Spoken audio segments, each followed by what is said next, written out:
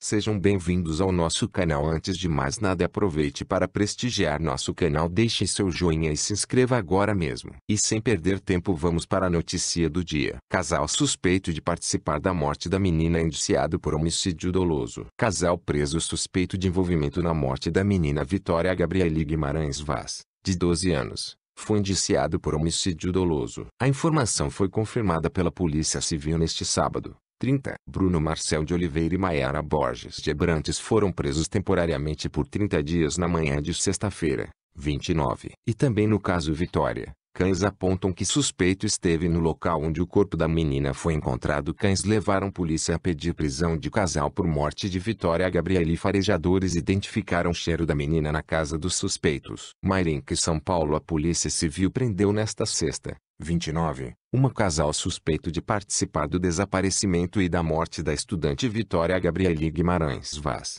12, em Araçariguama, a 53 quilômetros de São Paulo. As prisões aconteceram na vizinha Mairenque, a 71 quilômetros de São Paulo, onde o casal mora. Vitória desapareceu no último dia 8, quando andar. Sejam bem-vindos ao nosso canal. Antes de mais nada aproveite para prestigiar nosso canal, deixe seu joinha e se inscreva agora mesmo. E sem perder tempo vamos para a notícia do dia. Caso Vitória. Em áudio, suspeito preso diz a policial que menina pediu ajuda e estava desesperada. Conversa com um policial civil, o servente de pedreiro Júlio César Lima Ergesse, de 24 anos, disse que a menina Vitória Gabriele estava desesperada e em choque ao ser capturada em Araçariguama, São Paulo, em 8 de junho. A menina foi encontrada morta oito dias depois em uma área de mata, no bairro Caxambu. No áudio obtido com exclusividade pelo Fantástico é possível saber detalhes de uma das versões apresentadas pelo suspeito. Ouça acima. Ela pegou, falou o que que tá acontecendo, me ajuda. Ela estava em choque,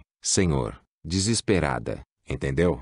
de Sergice. Júlio César, morador de Mairenque, está preso desde 15 de junho e foi indiciado por homicídio doloso pela Polícia Civil. E aí, o que você achou? Deixe seu comentário. Obrigado.